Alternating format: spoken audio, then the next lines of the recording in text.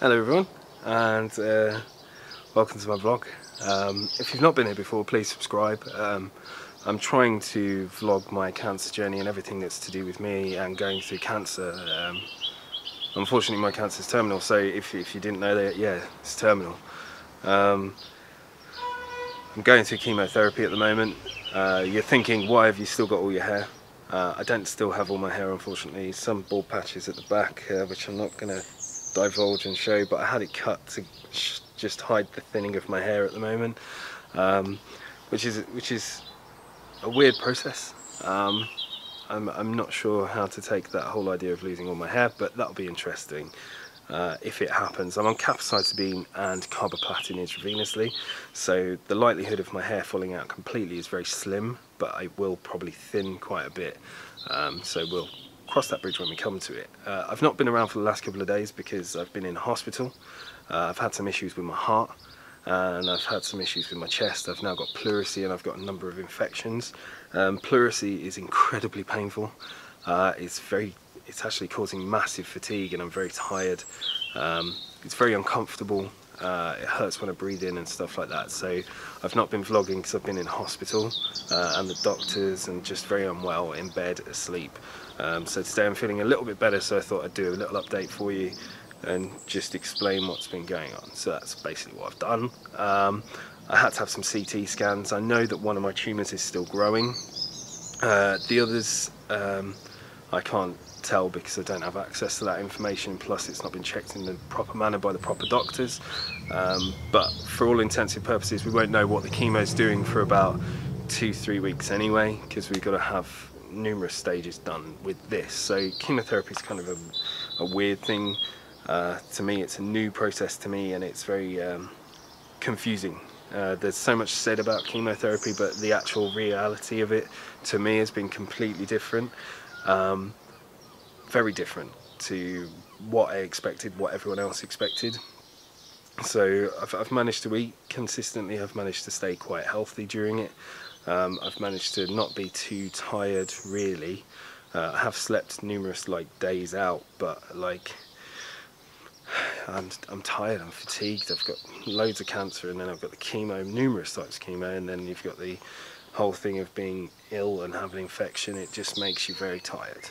Um, but yeah, another thing I wanted to touch on today was Sofia Gall unfortunately passed away the other day and she was one of the inspirations for me to start vlogging and to start doing this like whole journey video process of like documenting my cancer journey and the way that I'm going through it and I've gone from being someone who could potentially be treated to someone who is now terminal and it's very very hard to kind of comprehend that as a human being myself and for people on camera that must be quite hard for them uh, the other side of the camera sorry to really understand. Especially when everyone's like you look so healthy you look really good or you look this.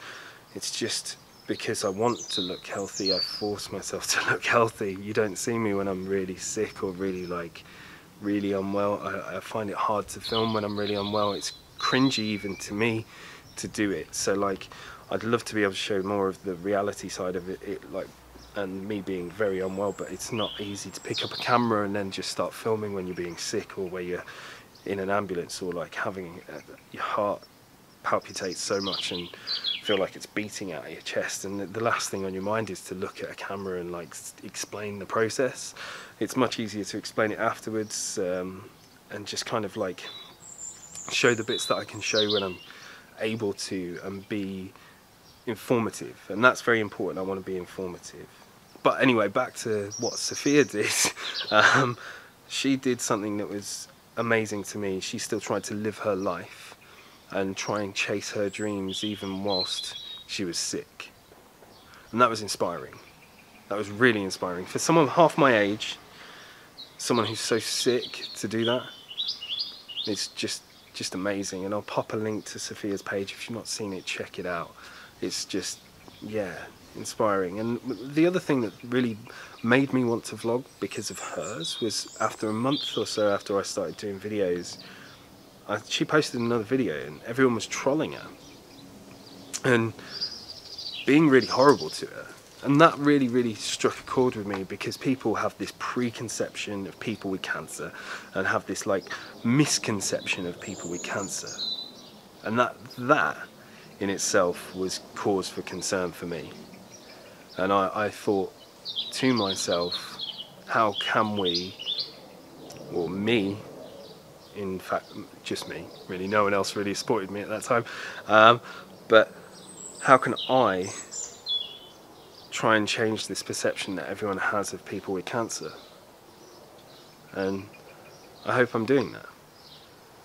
And I hope that Sofia managed to get everything she wanted out of life. And it's it really, really struck a chord with me that one day that might be me who passes away from this horrible disease. And I, I, I don't want that. I want to fight it as much as possible. I really want to fight it as much as possible. But yeah, anyway, I, I'm, I'm blabbering again. But yeah, thank you everyone for watching. Alright, love you long time. See you later. Ta-ta. Bye-bye. See you later. Ta-ta. Bye-bye.